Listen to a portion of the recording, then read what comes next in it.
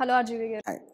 So first of all ఏంటి ఆరోగ్యంగా ఉన్నారా అని అడగాల నేను. అంటే చాలా మటుకు ఈ అప్డేట్స్ ఇదంతా కూడా ఆర్జీవి గారికి కరోనా వచ్చిందని.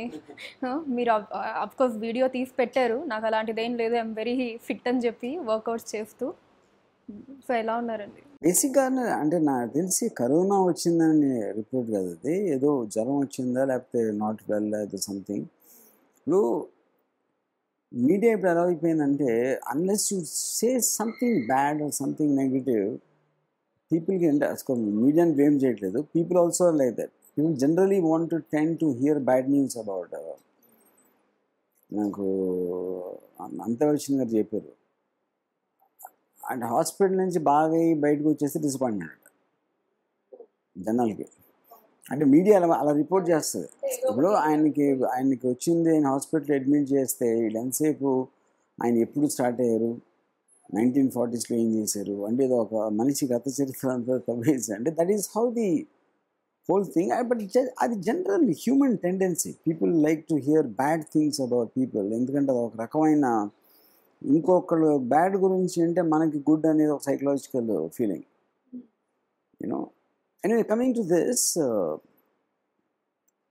whatever report వచ్చింది దాన్ని క్లారిఫై చేయడానికి నేను జస్ట్ పుట్ దట్ ఓకే ఏమైనా టెస్ట్ చేయించుకున్నారా ఆర్జీవి గారు మీరు కరోనా రిగార్డింగ్ అది నేను ఎప్పుడు మామూలుగా చూస్తుంటే అసలు ఈ మాస్క్లు ఈ ప్రికాషన్స్ ఇవి. నేను ఎప్పుడు చేసిన ఇంకోటి నాకు ఆ టెస్ట్ కూడా వాట్ ఐ డోంట్ అండర్స్టాండ్ ఒకవేళ వచ్చింది అనుకోండి పాజిటివ్ ఏం చేస్తారు దాని గురించి? That it self don't understand ఇప్పుడు ఇఫ్ యూ హాస్పిటల్కి వెళ్ళాల్సిన పరిస్థితి వచ్చినప్పుడు ఏదో వచ్చినా అర్థం. కరోనా వైరస్ ఎందుకో anything you have to go there అంతగా భయపడాల్సిన అవసరం లేదు. ఆర్జీవి గారు అయితే అసలే భయపడ ఇది జరుగుతుంది. That's what I believe in life so coming to thriller movie అంటే ఆ టైటిల్కి తగ్గట్టు థ్రిల్లర్ అనే టోటల్ మూవీ అంతా ఒక థ్రిల్లింగ్ ఎలిమెంట్స్తో కూడుకుని ఉంటుందా అండి?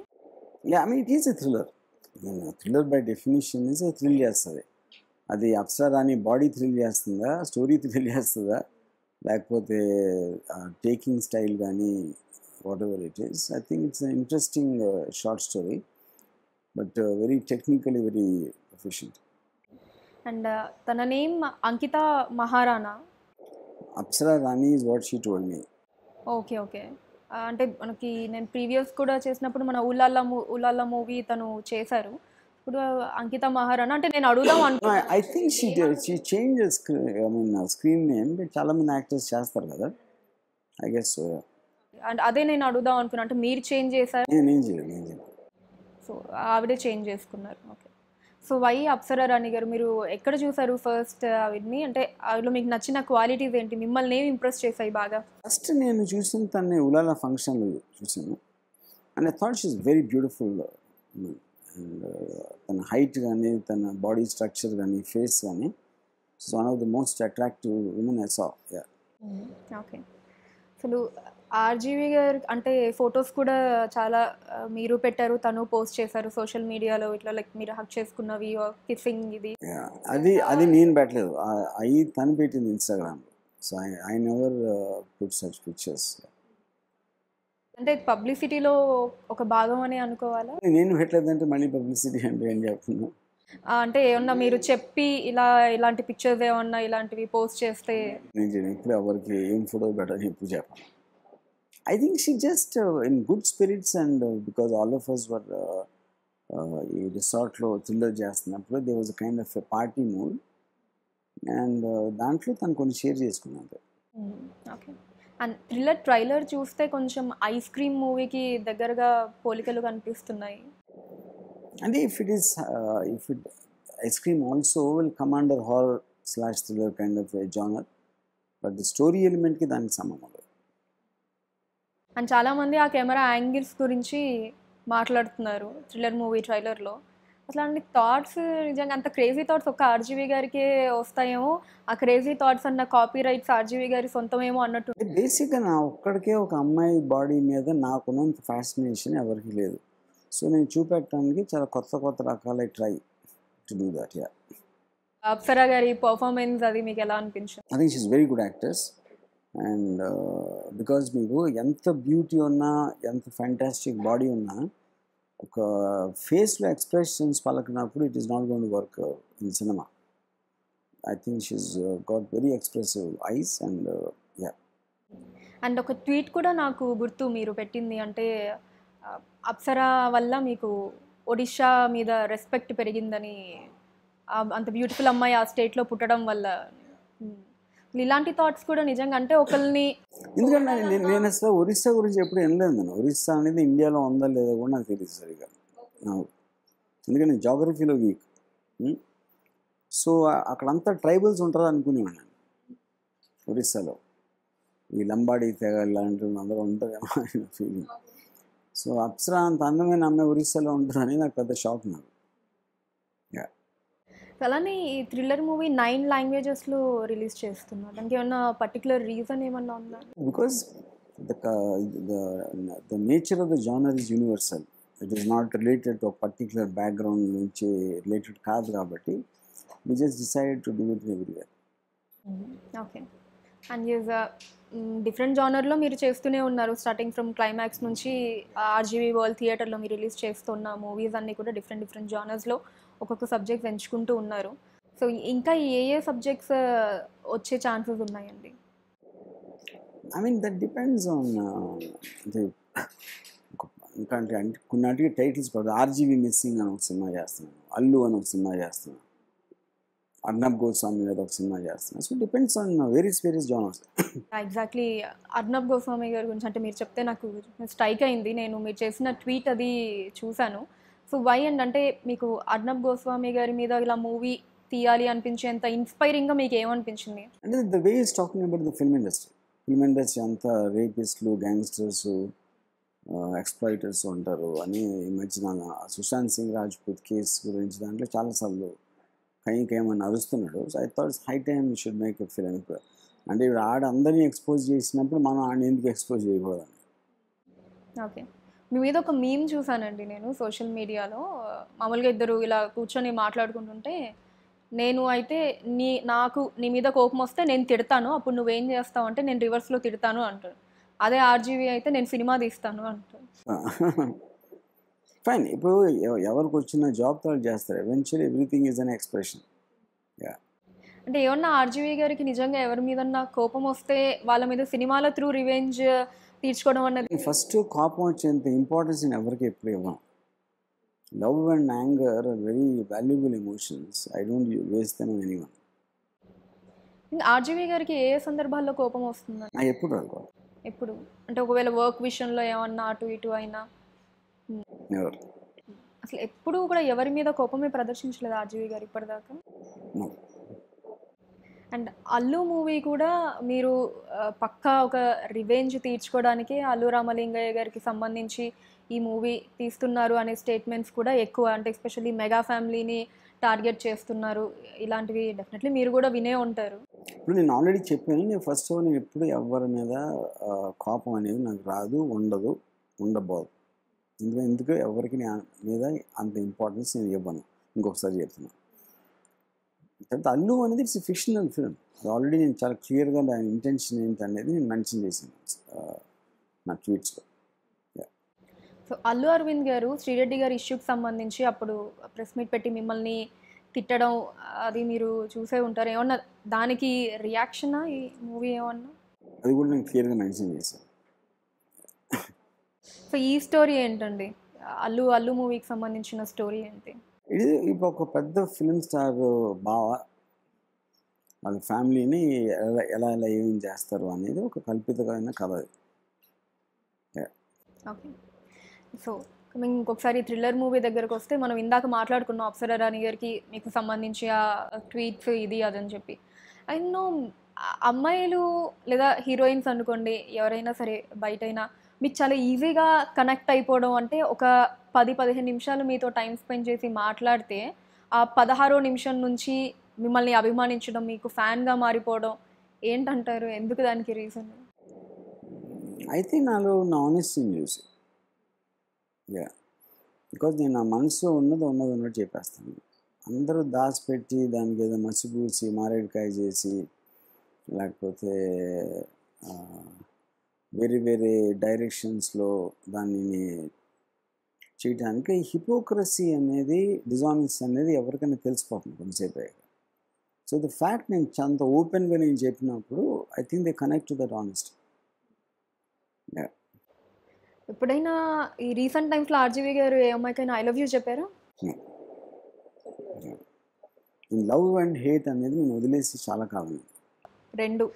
అయ్యా ఇందాక కూడా చెప్పారు మీరు కోపం అన్నది వదిలేసానని దాని వెనకాల రీజన్ ఏంటో తెలుసుకోవచ్చు time waste it is just and time and energy waste అయిపోతాయి చాలా. దాన్ని రెండింటి మన కోపం అంటే అఫ్ కోర్స్ అయ్యో చాలా మంది కొటేషన్స్ కూడా చెప్తూ ఉంటారు. కోపం తగ్గించుకోవడం ఇది అది. సరే అది పక్కన పెడితే లవ్ కూడా ఎందుకు వదిలేశారు RGV garu love is equally energy draining ఎందుకంటే లవ్ అనేది ఎక్స్పెక్టేషన్స్ క్రియేట్ చేస్తుంది. ఎక్స్పెక్టేషన్స్లోంచి డిసప్పాయింట్మెంట్స్ వస్తాయి. డిసప్పాయింట్మెంట్ నుంచి ఫ్రస్ట్రేషన్ వస్తుంది. So it build negative energy and Balakrishna గారి మీద ఉదయ్ కిరణ్ గారి మీద కూడా ఏవో మూవీస్ తీయబో ఇట్స్ నాట్ ట్రూ అది కేవలం ఏదో కొన్ని వెబ్సైట్స్లో రాశారు నిజంగా. ఓకే అండ్ థ్రిల్లర్ మూవీలో బ్యాక్గ్రౌండ్లో సాంగ్ వస్తుంది ఒక ట్రైలర్లో అనేది వెనకాల రామ రామ కృష్ణ కృష్ణ శివ శివ అని. అంటే హీరో హీరోయిన్ తొడల మీద కిస్ చేస్తున్నప్పుడు స్టార్ట్ అవుతుంది. ఆ సింక్ గురించి చెప్తారా? ఎక్స్ప్లెయిన్ చేస్తారా అసలు ఒకసారి? ఇప్పుడు మనకి మనకి పురాణాల్లో కూడా ఇట్స్ ఆల్వేస్ సెక్షువల్ ఇమేజరీ అనేది టెంపుల్స్ మీద ఉన్నంత ఇంకెక్కడ మీకు కనిపిస్తుంది తర్వాత ఈవెన్ కవులు వర్ణించేది కూడా ఒక అమ్మాయి బాడీని మన అంటే ట్రెడిషనల్గా మనకున్న హిస్టారికల్ మైథలాజికల్ దాంట్లో including Ramayana. You know I think they go overboard and praising ఒక ఉమెన్స్ థైస్ కానీ లేకపోతే వేస్ట్ లైన్ కానీ హిప్స్ కానీ no? So I think that was in my way of modern interpretation of that okay and Nagarjuna గారి దగ్గరికి ఒకసారి ఆ topic తీసుకొద్దాం అనుకుంటున్నాను నేను. ఒకసారి మీ మాటల్లో నాగార్జున గారికి మీకు మధ్య ఉన్న రిలేషన్ గురించి చెప్తారు? ఎలాంటి రిలేషన్ ఉంటుంది మీ మధ్య? I mean, I think it very, very both personal and uh, personal. Uh, uh, we like each and we respect each other. మీకు నాగార్జున గారిలో నచ్చే విషయాలు ఏంటి Now, I like the way he chills out.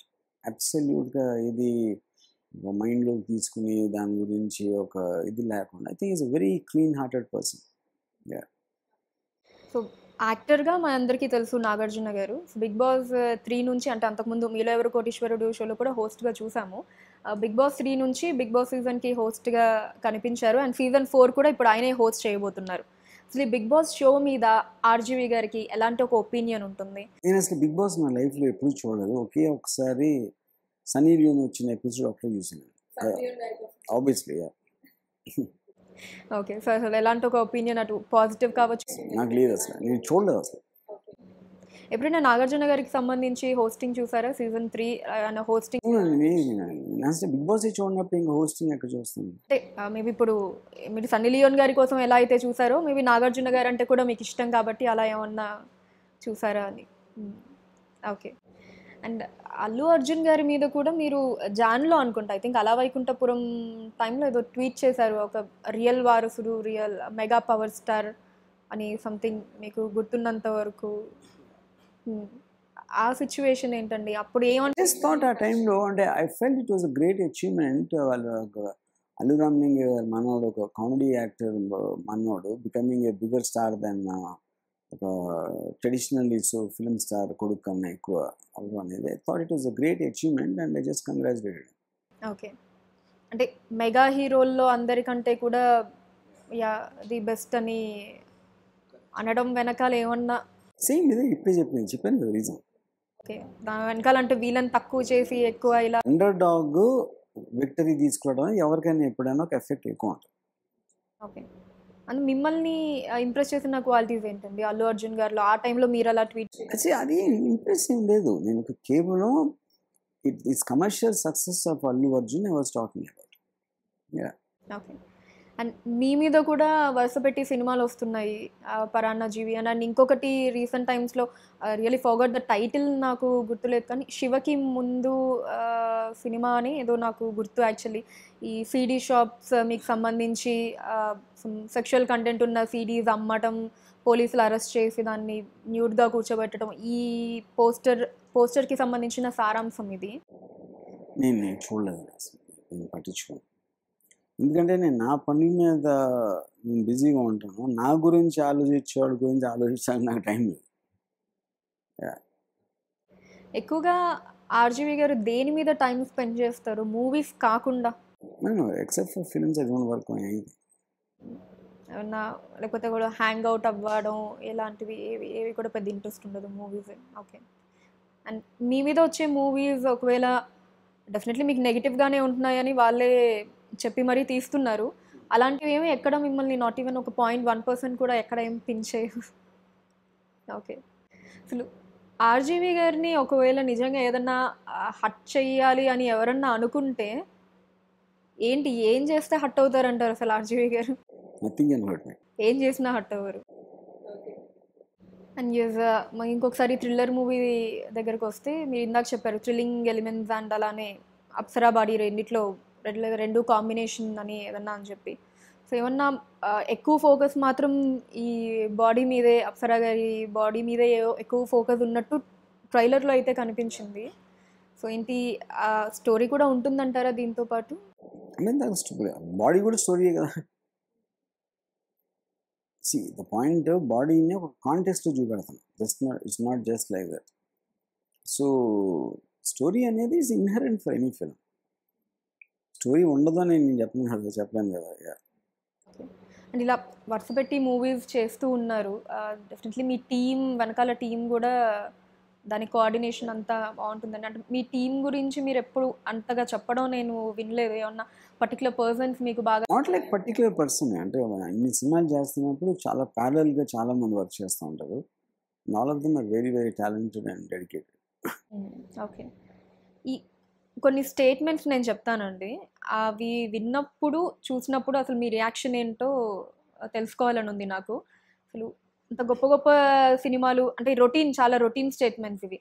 అంత గొప్ప గొప్ప సినిమాలు తీసిన వర్మ ఇప్పుడు ఏదో ఇప్పుడు ఈ- క్వశ్చన్కి కొన్ని వేల సార్లు ఆన్సర్ చేశాను. దయచేసి బోర్ కొట్టి చచ్చిపోయాను.